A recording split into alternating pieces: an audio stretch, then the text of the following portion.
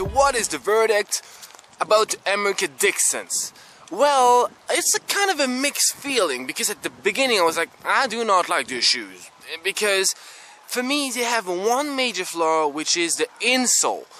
Both inside and outside, I find them pretty slippery. So when you're inside, whatever the socks you put on, you kind of slip a bit in the shoe, which it's not really annoying. It's just uh, you, my confidence isn't at my max when it's like that and I'm not used to that.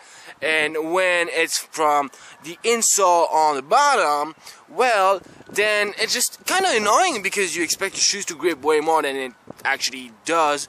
However all of that it goes away when you break in the shoe and breaking in do's default on the insole takes quite some time I would say a couple of weeks. And usually normal shoe just die after a couple of weeks. But here they are again. And frankly, besides this and, and this on the side, they're pretty much intact. And I, I know that the footage you've seen it's for around two, three weeks of skating, but it's been a month now. At least, I would say one month and a half, almost two months. And just, they just don't want to die. It's crazy.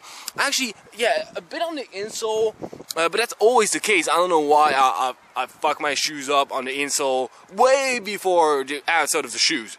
But this is still good for a couple of weeks, and I've never, in 10 years of skateboarding, never, never seen such resistant shoes. So, Emerica Dickson's yes, buy them. It's freaking amazing.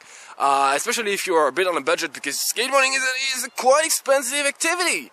But these is this is the solution. Um, I think I, I've bought them for 70 euros, maybe 80. I don't really remember. It's been quite a while now.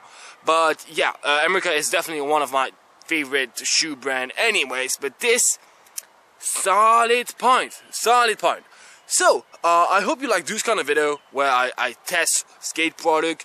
Uh, I also do a couple of other video, discovery, for example, where I skate a skate park from A to Z. Every uh, I do a trick on every single obstacle.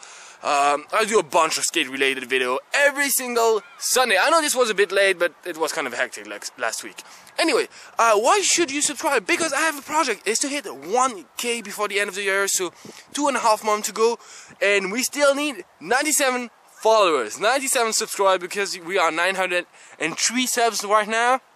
So 1k, here I am. So help me to reach that goal. So don't forget to like, comment, and subscribe to this channel for more. See you very soon, guys. Take care.